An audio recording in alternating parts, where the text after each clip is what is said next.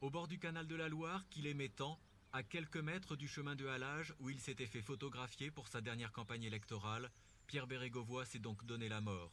Il était 18h20, il venait de passer un 1er mai apparemment normal. Fidèle à ses idées, il avait rencontré, ici, au Palais Ducal, les syndicalistes. Pour certains, de très vieux amis.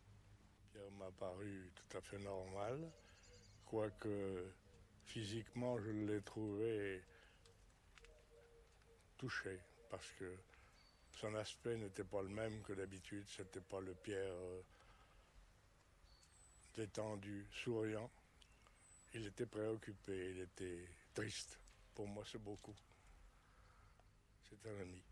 Il part. Excusez-moi. Je suis trop ému, je suis fatigué.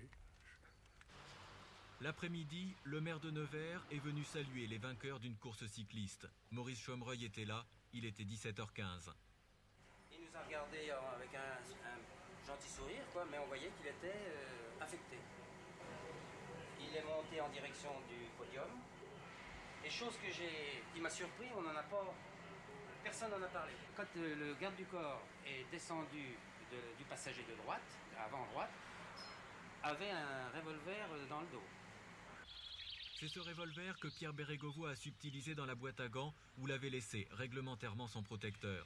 Prétextant une promenade, il s'est éloigné. Pour son chauffeur et son garde du corps, il était trop tard pour empêcher le geste fatal.